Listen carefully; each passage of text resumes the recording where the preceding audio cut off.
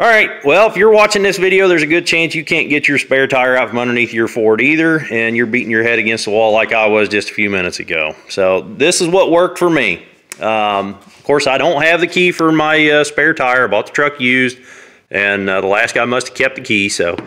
Um, I tried the bolt extractors. If you guys are also looking around online, you're going to see I had uh, the three sizes. These are the only three of these bolt extractors that I have of this type.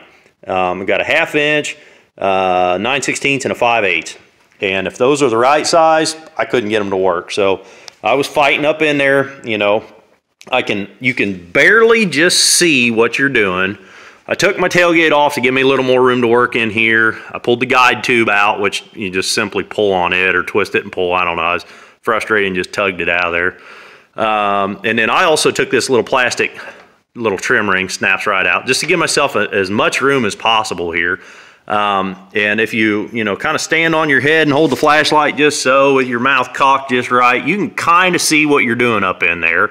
So I could tell that these, I, I've, I think the, the little two wouldn't go on and the big one wasn't engaging or something. I don't know. Anyhow, I ran across another video online, a guy using this piece of, uh, I think he called it half inch or three quarter inch EMT or something like that. I don't know if that's just, you know, galvanized conduit or what, but um, I took that idea and, and kind of went over to my junk pile, and this is what I had. The closest thing, uh, the closest piece of pipe laying around, it's an old tent pole. And uh, I was able to fish that up in there. I kind of see what I was doing again, just barely. I could see that I was getting the end of the pole on the key. Here's my key. And, uh, and I kind of give it a couple little love taps, and uh, I could feel, you know, then I kind of love tapped it on there and, and tried to turn the, the mechanism, you know, to get I could feel that it was just spinning on the key here. So um, I figured, you know, well, to be honest with you, I was frustrated. So I just beat that some bitch on there. I give it, I think, one or two good whacks. I figured I was just going to drive the thing in there and then just pop it out. Sure enough, that's what happened. So I uh, whacked it a couple real good times. It drove the key up inside the conduit, and then I just popped the conduit and the key popped right out. So there's not a whole lot of friction holding the thing in. Um, so if you can get lucky and get just the right size of conduit or that the other guy that gave me, you know, the idea, he put rubber, he uh, zip tied rubber around it and uh, kind of tucked that rubber down in there and that's how he engaged his key to pop it out. So that worked out real well. Uh, but for you guys that are uh, really wanting to know what these dimensions are, I'm gonna try to get some uh, Harbor Freight numbers with my uh, caliper here. So we'll zero this out. And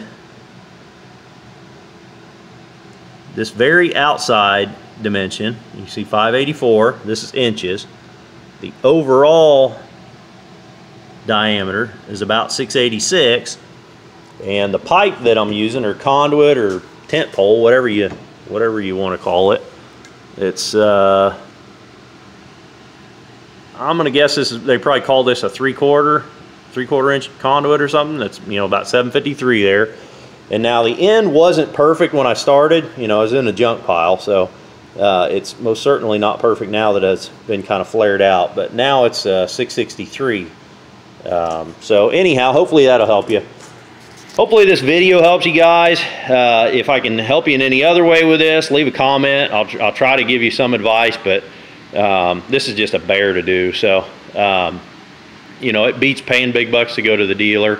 Uh, I actually called the dealer about this. You know, I wanted to buy a key. They said you have to bring your truck in. We have a master key that will remove your key with, then we can order you a key. So they wouldn't even just sell me a key. Said there's multiples it could be.